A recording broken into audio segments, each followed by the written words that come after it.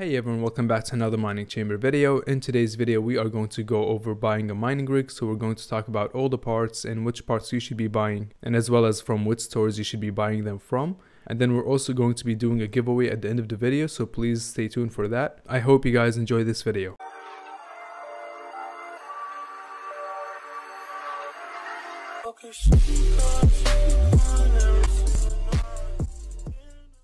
First thing I want to mention guys, there will be a full write-up on miningchamber.com, so if you want to skim through it, you can go ahead and open that up. The link will be in the descriptions below.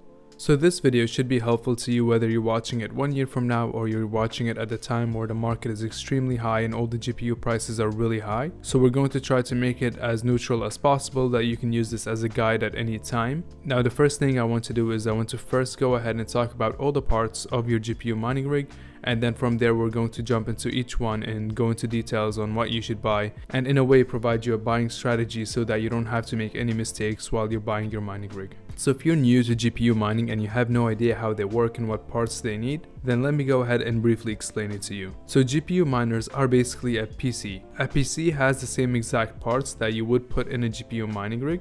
So you have the processor, the motherboard, the RAM, as well as the graphic cards and a power supply, except that in a mining rig we would put more than one graphic card. So it's just the looks that are different and the graphic cards. You have more than one graphic card, sometimes you have more than one power supply, or you would be running a server power supply and such, and all that we will cover more in details later on. But just to clarify, a mining rig is just a computer with more than one graphic card. So now that being said, what we're going to do is we're going to divide the parts in a mining rig and we will set two different categories.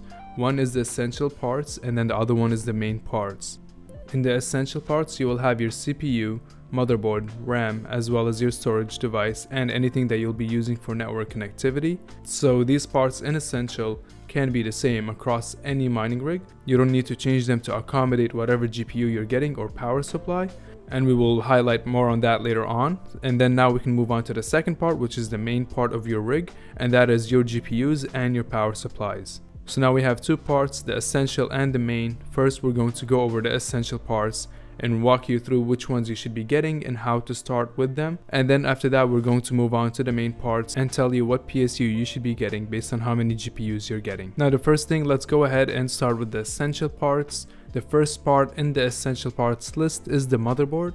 So this is where you should be starting when you're buying your mining rig because your motherboard will be what determines what CPU you should be getting as well as the RAM. So for the motherboards, I do recommend getting a mining specific motherboard. It's very common that I get a question that can I use a gaming motherboard or can I use this motherboard or that motherboard and they're not mining motherboards. Uh, it's completely fine, you can use them. They do have most of the time less amount of PCIe slots and those slots are basically what dictates how many GPUs you can run on your motherboard. So each PCIe slot means that you can run one GPU, which means is if you have a gaming motherboard with 5 slots, you can run 5 GPU out of it. But there is one more thing to keep in mind. Some older motherboards don't have 4G decoding or they have really slow PCIe link speeds. So in that case, if you're trying to use a really old motherboard, you can give it a try, it might work, but if it doesn't work, then it's most likely because it's very old. So that's why I usually just recommend getting mining specific boards because first, they are cheap, they're cheaper than gaming motherboards as as well. And you would have been able to find them for decent prices before all the markets went up really high. So as far as recommendations for mining boards you will find a list of recommendations on the blog itself. And just get any mining motherboard honestly they're all good. So you can just grab any of them and you'll be set. And the one thing you want to keep in mind are the PCIe slots.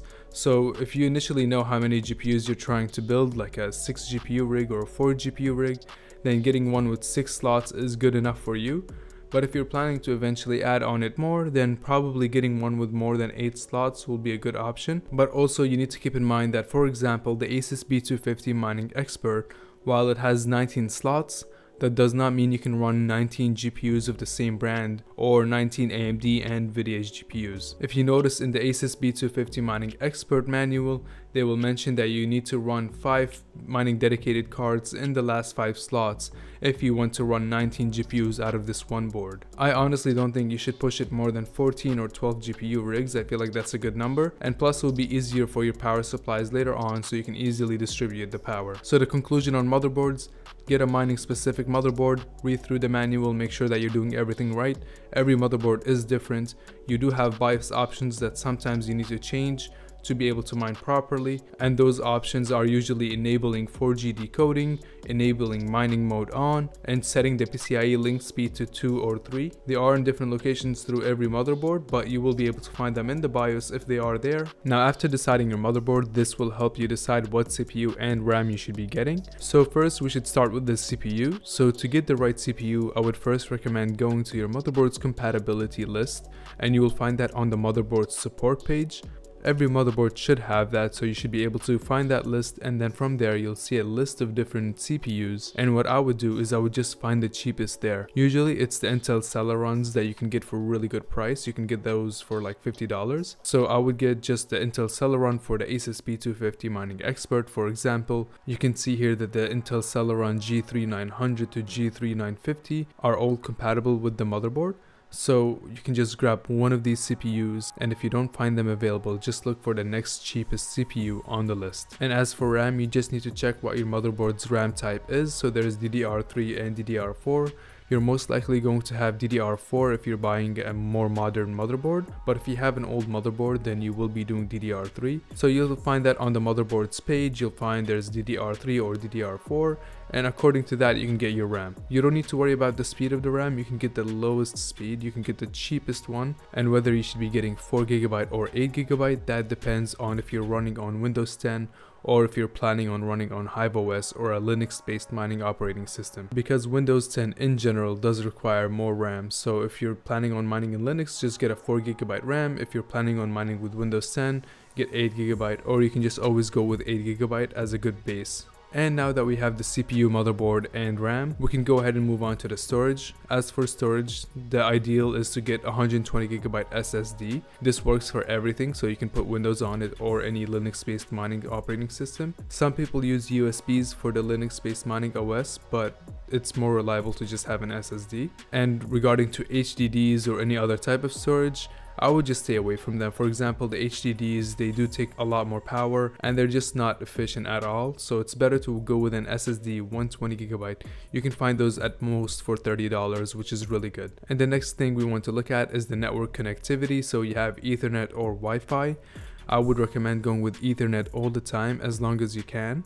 So sometimes you can't reach your ethernet cable from your modem to your rig and in that case I would suggest getting a power line adapter which is basically two plugs you would put in in two different rooms. One near the modem and it will plug into it and then the other one will be somewhere around the house.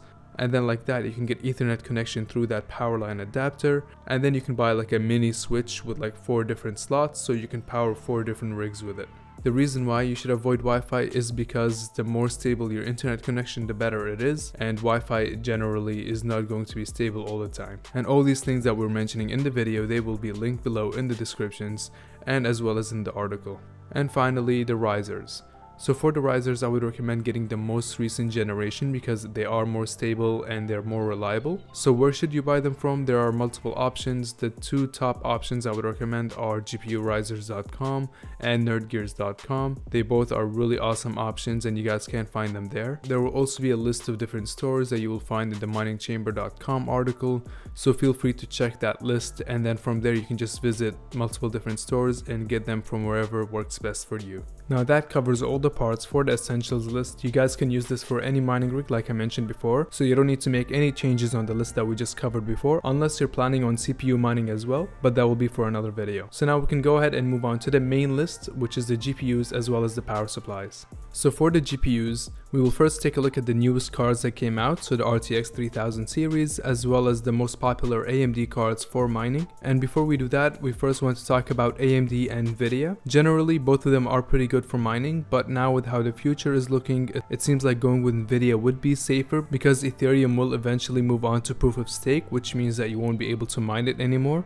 and that's what mainly all the GPU miners mine. Although there's still time for this, so there's probably at least one to two years until this happens, I would would recommend trying to get as much Nvidia as possible, but if you come across good AMD cards for decent prices, then it's also a good option. So now let's go ahead and talk about which AMD cards you should be looking for, and then we can talk about which Nvidia cards you should be looking for. So for the AMD GPUs, the top options would be the 5700 XTs as well as the 5600 XTs. These two cards are really good for mining. They are both hard to find now due to the current market state, but if you are able to find these cards for a decent price near their MSRP, then it would be a good buy. There's also the 5500 XT, and if you get the 8GB version of that card, it's also a good option.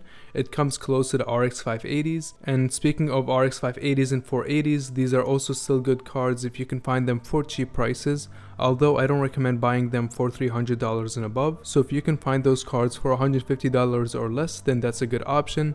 Other than that, I would go for the newer cards, which are the 5700 XTs 5600 XTs as well as the 5500 XT. We also have the most recent AMD cards that recently came out which are the 6800 and the 6900. These cards are also good for mining but as of now we still don't have much information on them and we can't really see their full potential yet but if you do find them for a decent price that is not higher than the MSRP then you can go ahead and grab them as well they will be a good option. I will cover how you can calculate the performance and the watts of your GPUs so let's first cover the Nvidia cards and then I'll tell you guys what to do when you find the card that you want and then you can go on and check how much money that card will make you. So as for the Nvidia cards, the RTX 3000 series is a pretty good option for mining. The 3060 Ti and the 3080 specifically are pretty good cards. You can also get the 3070s or the 3090s, so whatever you can grab for a decent price, it will be a good option. Other than the RTX 3000 series, you can also look for GTX 1660 Ti's or Supers. These cards are also pretty good and that would wrap it up for the Nvidia cards. So you have a good list of options that you can pick from and whenever you find a card that you want for a decent price, you can go ahead and go to cryptex.com or whattomine.com and you will find a calculator there where you can select that card and then it will give you an estimate of how much that card will be making for you as of the day that you searched it. Just remember all these profits do change very regularly and it all depends on the price of the cryptocurrency, the volume of the transactions as well as the difficulty. So whenever you find whatever card you want, just put them in those calculators, put how many cards you're planning on buying, and then you'll get an overview of how much profits you should be making. And one last thing about GPUs, please make sure not to fall for any scams on Alibaba or AliExpress. You might find GPUs for really cheap prices or pre-built mining rigs with like RTX 3080s for a decent price. Just know that it's very unlikely that it's true because of how scarce these cards are, you want to make sure that you're getting them from the right source. So I would recommend looking for bots that would inform you about stocks. We've used that one for a 3060 Ti and that's how we were able to get one. That bot is on Discord and it's called StockRadar. So I will leave the link for that server in the descriptions below so you guys can join. And then you can set up your notifications based on your region and then you can get notified whenever a GPU hits the stock. But you will need to be really quickly because these go out of stock super fast. So it can be gone in like 10 seconds if you don't order it. And now that wraps it up for the GPUs. We can go ahead and move on to the power power supplies. So now as for the power supplies, we're not going to get into details because we have two videos, one covering the ATX power supplies and the other one is covering the server power supplies. So if you want information on that, I will leave the link of both of these videos in the descriptions below. But generally, I would recommend the server power supplies if your rig is not going to be running in your bedroom or your living room. But if you're planning on running your rig in your bedroom and such, then I would go ahead and go with an ATX power supply. I also talk about the wattage there and how to deal with your 8 pins, 6 pins and how you should be be plugging your GPUs. So all that information that you need will be in those videos, so please go ahead and check them out before you buy a power supply. Now the last thing that we didn't cover are the frames. So as for the frames, it's hard to find them now, but there is aaawave.com and also mineshop.eu. They still have pretty good frames there. And other than that, I would just recommend building your own. You can go to any local hardware store and buy some wood or right angle aluminum and then just build it up and have the right dimensions for GPUs and you'll be set. You can also use just basic shelves off of Amazon and that would work as well. So now that wraps up the parts list. So now you have your essentials and your main parts and we went through all of them. We will leave a link in the descriptions below for everything as well as our recommended GPUs and everything like that so feel free to use the links below to support the channel. And we're also going to leave the stores that we recommend buying from in the descriptions below as well as in the article. So I hope this video clarified for you guys everything, but just remember that if you don't find the parts that we mentioned here or if you find them for a really high price, just look around more, find other places to buy it from. And generally when you're buying a GPU, just look up its MSRP price. So just look up in Google the GPU name and next to it MSRP and then you'll get the value that it came out with. And after that, just compare it with the price that you're trying to buy it with. I wouldn't go $200 over MSRP. And by no means this is a financial advice. This video is just a guide for you to figure out what to buy and what you need for your mining rig. Now, do I think it's worth it to get into GPU mining after the market's going up that high? I honestly think it's still a good time to go in. That's only if you find hardware at decent prices. So if you can catch one of those Newegg sales before they run out, then you would be good. But if you're trying to go for an old GPU and buy it like $200 markup, I wouldn't recommend that. And I've also did an interview recently with Abu American where we talked about the market and the current state of it. So I do recommend checking that out. The link will be in the descriptions below. So if you guys have any questions or anything that we missed on, please let us know in the comments below. Now let's go ahead and talk about the giveaway. So I reached out to different hardware stores and all of them have decided to join the giveaway and sponsor it with each one giving different rewards and I'm really grateful for that. And also Red Panda Mining joined the giveaway and he's giving away $100 worth of crypto. So currently the rewards list is $100 worth of crypto to two lucky winners by Red Panda Mining. So please make sure to subscribe to Red Panda Mining. He does videos daily and he always gives really good content that you can benefit from. And then the second reward is from nerdgears.com. They are giving two $25 gift cards for anyone in US or Canada. And then the third reward is from mineshop.eu. Mineshop.eu is run by Guntus Vitalins and he has a YouTube channel and he makes really awesome content about mining. I do recommend checking him out. He is going to be giving away a $100 voucher for mineshop.eu. And then we have the fourth reward which is from GPUrisers.com. They're giving away two 6-pack risers of 009s to anyone in US and Canada. And then the fifth reward we have AAAwave.com. They're also giving away two 6-packs of risers of 009s to anyone in US. And then finally parallelminer.com they gave us a promotion code with 10% off of your order, so we will leave that in the descriptions below as well. So the way to win this giveaway, all you need to do is you want to comment below your region.